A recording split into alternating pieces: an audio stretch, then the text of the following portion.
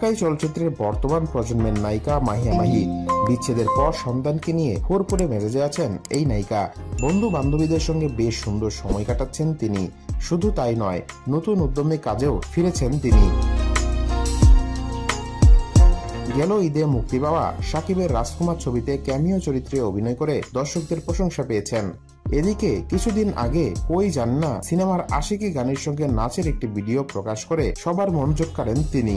এক মিনিটের সে ভিডিওতে মাহির সৌন্দর্যে মুগ্ধ হয়ে অনেকেই ভাবছিলেন, ফুরিয়ে যাননি তিনি। অনেকে তাকে এমন রূপে ফের পর্দায় দেখারও স্বপ্ন দেখছিলেন। এত কিছুর মাঝে এই নায়িকা জানালেন, তিনি একটি অনলাইন জুয়া কোম্পানির শুভেচ্ছা দূত হয়েছেন। খবরটি জানিয়ে নিজের ফেসবুক থেকে প্রকাশ করা এক ভিডিও বার্তায় মাহি বলেন, আমি মাহিয়া মাহি। আজকে আমি তোমাদের জন্য দারুণ একটি নিউজ নিয়ে এসেছি। আমি নতুন এক ফ্যামিলিতে যোগ দিতে যাচ্ছি। জয়েন হতে যাচ্ছি শুভেচ্ছা দূত হিসেবে। অনেক চমক নিয়ে আসব তোমাদের কাছে। এদিকে বাংলাদেশের সংবিধান ও আইনে জুয়া খেলা একেবারেই নিষিদ্ধ। বাংলাদেশের সংবিধানের আঠারো অনুচ্ছেদে নৈতিকতা রক্ষায় রাষ্ট্রের দায়িত্ব সম্পর্কে বলা হয়েছে।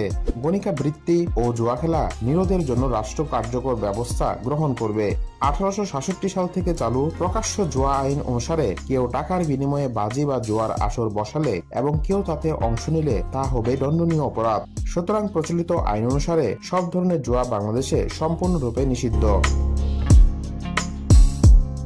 বিষয়টি নিয়ে মাহি বলেন, চুক্তিতে স্পষ্টভাবে লেখা আছে, cricket related informative platform and not promoting casino. আমি এভাবেই তাদের সঙ্গে চুক্তি করেছি।